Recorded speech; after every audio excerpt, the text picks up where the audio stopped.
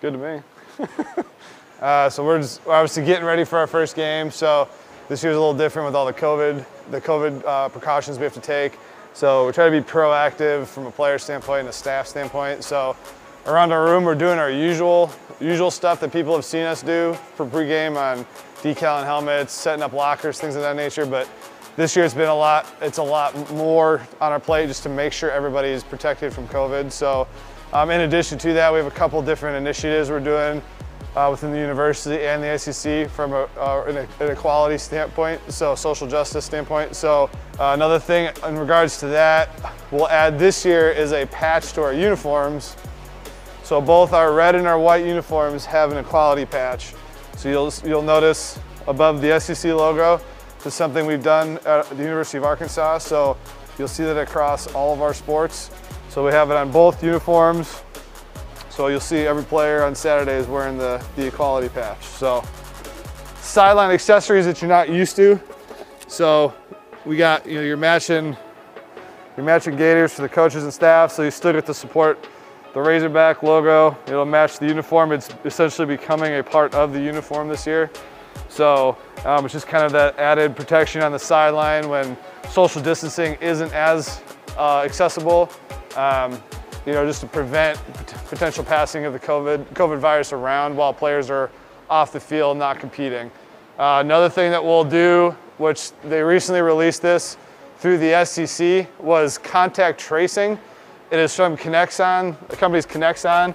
It is the same system that the NFL teams are using. So these little chips here, these little chips here will be inside the player's shoulder pads. There's a little pouch that you'll see it. You won't even see it. It'll be tucked on the front of the pad. Um, when it's plugged in, you can see the green light. When you take it off the charger, the light disappears. On, on game day, if you are within six feet, this will light up red to alert you that you're too close from a uh, contact tracing standpoint.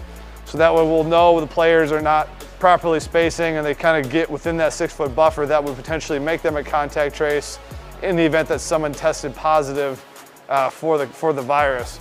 So this stuff, uh, we'll wear it all day. It's a 12 hour battery life, so all, all game day long they'll be wearing it.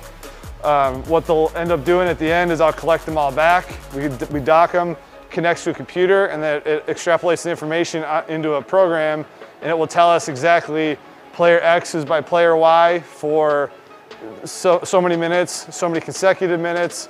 Is a cross-compatible software, so all 14 teams are using the same technology and same software. So if someone on another team gets it, say your, your right guard gets it, we'll make sure that the left or the defensive tackle on the other team wasn't in that contact trace window. So that allows us not only to protect our team, but for other teams to protect each other uh, pre and post game from COVID. So one thing we do every week before the game is go back through. So players will have a practice and a game helmet.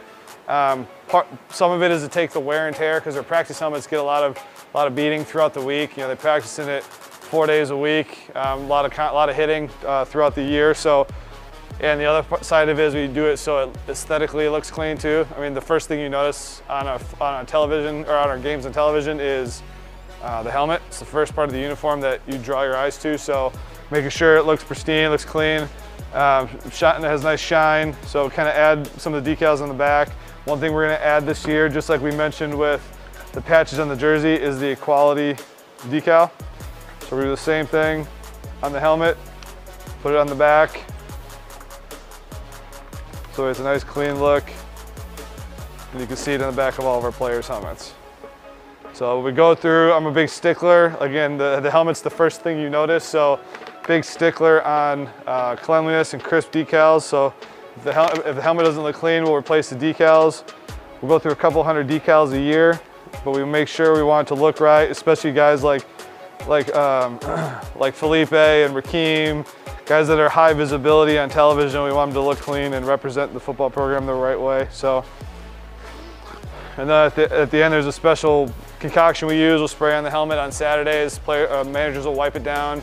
That way it gives a nice sheen uh, under the lights or under the sun. So it's a nice, nice glossy finish to it. So and Feleipe's already. So a couple of the, some of the helmets we use, um, there's two different main helmets we use is the Speed, uh, Speed Flex. This is a precision fit. So The inside, the guts is a mold to the player's head.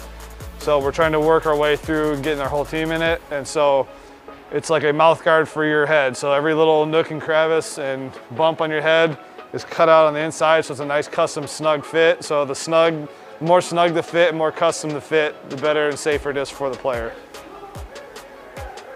No, but thanks, thanks for stopping by the equipment room, seeing how we prep for games, especially in 2020. So we look forward to having you in the stadium, watching on TV. Go Hogs.